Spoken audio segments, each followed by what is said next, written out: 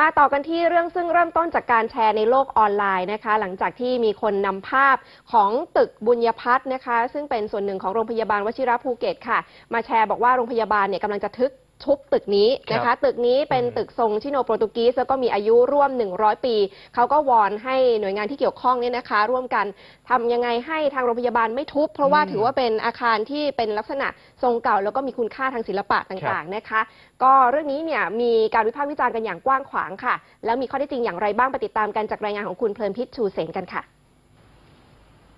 อาคารชั้นเดียวซึ่งมีลักษณะการก่อสร้างรูปแบบสถาปัตยกรรมชิโนโปรตุกิสหลังนี้คือตึกบุญพัฒน์ที่กำลังถูกพูดถึงกันอย่างกว้างขวางในโลกออนไลน์ ตั้งอยู่ในพื้นที่ของโรงพยาบาลวชิระภูเก็ต ซึ่งปัจจุบันตึกดังกล่าวถูกโอบล้อมไปด้วยอาคารผู้ป่วยใหม่ทั้ง 4 ด้าน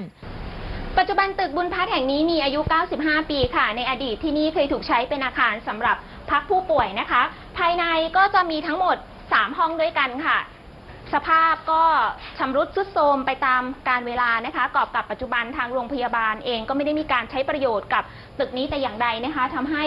สภาพเป็นอย่างที่เห็นนี้แหละค่ะกลายเป็นที่เก็บของจุกจุกจิกจิกๆนะคะอย่างไรก็ตามล่าสุดนะคะทางสำนักงานศิลปากรที่ 15 จังหวัดภูเก็ตก็ยืนยันแล้วว่าตึกบุญพัฒน์นั้นยังไม่ได้มีการขึ้นทะเบียนเป็นโบราณสถานแห่งชาติค่ะ แต่ด้วยอายุที่มากกว่า 90 ปี เลยทำให้ที่นี่กลายเป็นโบราณสถานโดยอัตโนมัติค่ะามประวัติระบุเขาว่าตึกบุญพัฒน์นั้นถูกสร้างขึ้นในสมัยปีพุทธศักราช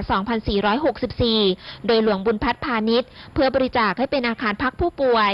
ตัวตึกด้านหน้ามีมุก พื้นปูด้วยไม้ตะปูนและหินอ่อน หลังคามุงกระเบื้อง ในขณะนั้นใช้งบประมาณการก่อสร้างรวมทั้งสิ้น 6,000 บาท โดยหลังมีข่าวว่าโรงพยาบาลวชิระภูเก็ตเตรียมสร้างอาคารผู้ป่วยใหม่ในบริเวณที่ตั้งตึกบุญพัฒน์วันนี้นายประยูนจันทร์เพชรตัวแทนกลุ่มอนุรักษ์ตึกเก่าภูเก็ต ได้เข้ายื่นหนังสือยังสำนักงานศิลปากรที่ 15 ภูเก็ต เพื่อขอให้ทางกรมศิลปากรตรวจสอบว่าสามารถทำได้หรือไม่อย่างไร พร้อมเรียกร้องให้ผู้เกี่ยวข้องทบทวนโครงการ เพื่ออนุรักษ์ตึกบุญพัฒน์ไว้ให้เป็นตึกโบราณคู่เมืองภูเก็ต อาจจะไม่ได้เกี่ยวกับเรื่องของการคัดค้านนะคะมันเกี่ยวกับเรื่องการอนุรักษ์อืมนะครับ คือ ของพวกนี้เนี่ยมันไม่ได้ทำกันแม้แค่วันสองวัน มันเป็นประวัติศาสตร์ มันเป็นหัวใจ มันเป็นความเป็นมาของของของแต่ละท้องถิ่น วันนี้ภูเก็ตเนี่ยมันไม่ใช่เป็นทรัพย์สินธรรมดา มันเป็นทรัพย์สินซึ่งเป็นมรดกตกทอดมาจากอารยธรรมของบรรพบุรุษเรา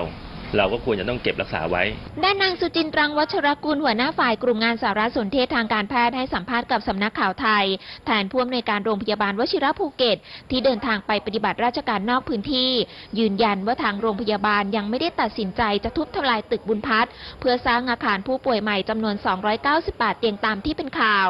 แต่ยอมรับว่าเป็นหนึ่งในตัวเลือกที่วางไว้ เนื่องจากปัจจุบันโรงพยาบาลกำลังประสบปัญหาเตียงผู้ป่วยไม่เพียงพอกับผู้มารับบริการทำให้ให้อยู่ในสภาพแออัดอย่างหนัก ต้องแก้ปัญหาโดยการเพิ่มเตียงเสริมบริเวณทางเดินและหน้าลิฟต์ เนื่องจากผู้ป่วยมีอัตราการคลองเตียงเกินร้อยเปอร์เซ็นต์และยังมีแนวโน้มเพิ่มขึ้นทุกปี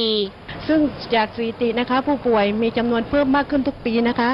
ซึ่งผู้รับบริการของเราตอนนี้เฉลี่ยวันละ 2,500 ถึง 3,000 รายต่อวันนะคะ ผู้ป่วยที่กองเตียงอยู่ในโรงพยาบาลนะคะ เฉลี่ยแล้ววันหนึ่งประมาณ 500 500เบอร์500 คนขึ้นนะคะ ของโรงพยาบาลวชิระเองณขณะนี้ ถ้าไม่ครับ ทุบตรงนี้ขยับขยายตัวอื่นไม่ได้แล้ว คือถ้ามองทั้งหมดเลยนี่จะจะไม่มีแล้วครับ เพราะว่าถ้าไม่นั้นนี่คือต้องไปทุบอาคารเก่าค่ะ อันนี้การทุบอาคารเก่าหมายความว่าระหว่างที่เราสร้างอีกสามปีเนี่ยคนที่อยู่เดิมเนี่ยก็จะไม่มีที่อยู่ครับ อีกอย่างหนึ่งก็คือบริเวณ